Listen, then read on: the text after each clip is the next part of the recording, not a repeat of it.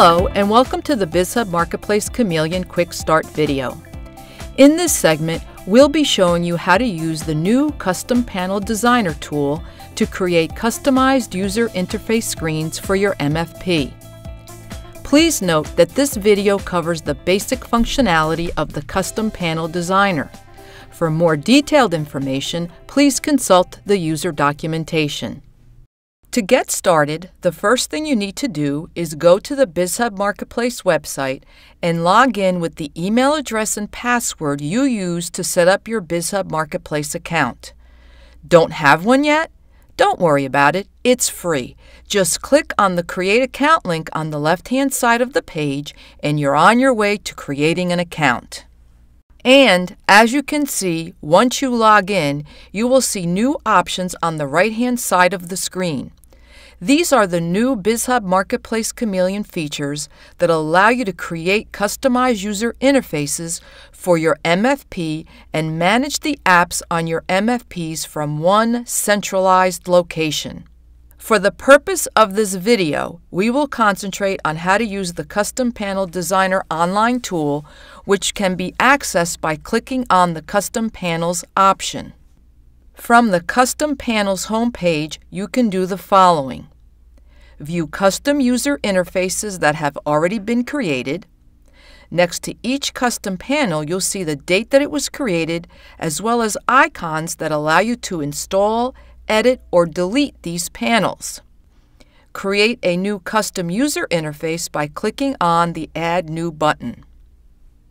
Now let me show you how easy it is to create a custom interface for your MFP using this tool. Do the following. 1. Click on the Add New button. 2. On the Create New Custom Panel window, enter a name for your customized user interface. Then select the OK button.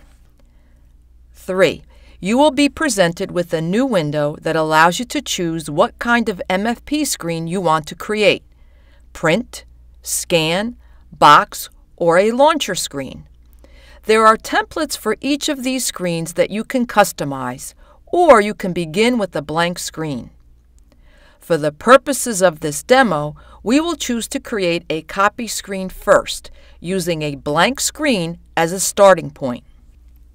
4. In the Name field, enter a name for your new panel. 5. Select the Create button when you are done. 6. You will now be presented with the screen that allows you to add controls to your new panel. On the top of this window, you will see the following icons. Click the plus icon to create a new panel. Click the duplicate icon to create a duplicate copy of this panel. Click the Rename icon to rename the panel. Click the Delete icon to delete the panel. 7. Now you can drag, drop, and customize the controls that you are interested in displaying on the panel from the widget's Basic, Advanced, and Commons tabs onto the blank screen. You can also customize the background with specific colors and images to truly customize the MFP panel. Click on the panel and a page window will appear, allowing you to add a background color or image.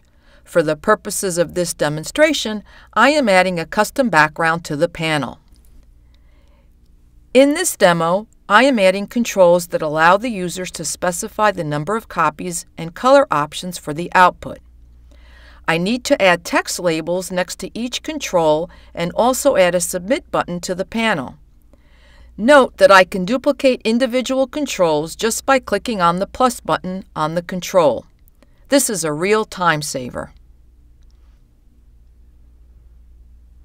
You can also add hidden controls to your customized panels.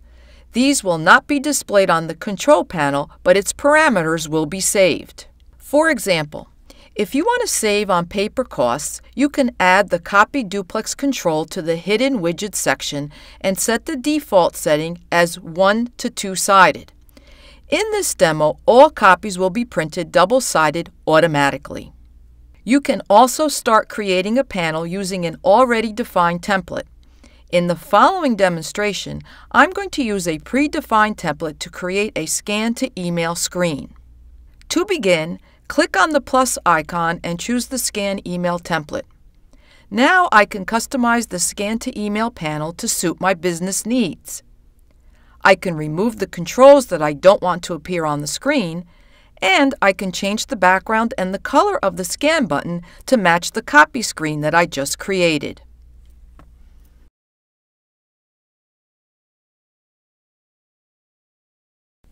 Now I'm going to show you how to create a launcher screen that provides access to the copy and scan to email screens that I just created.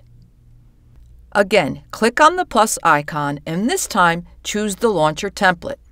The first thing I will do is define this launcher panel as the home screen that appears first. I do this by clicking on the gear icon and selecting Home. Next, I'll customize the background and then drag drop a link button to the screen.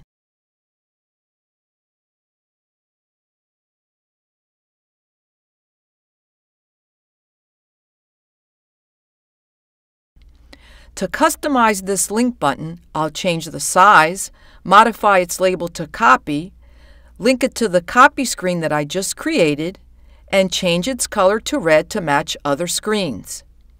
To create another one, I can duplicate the existing button and change its label and link. And this tool also gives you the ability to test what you've created. Select the Test Mode button on the top right-hand corner of the page to see how your panels will operate. In this example, when I click on the Copy button, you see that I go directly to my copy screen. We hope you're as excited as we are about how easy it is to customize your panel using the BizHub Marketplace Chameleon feature set. Of course, if you have any questions, your Konica Minolta representative will be happy to help you. Thank you for choosing Konica Minolta.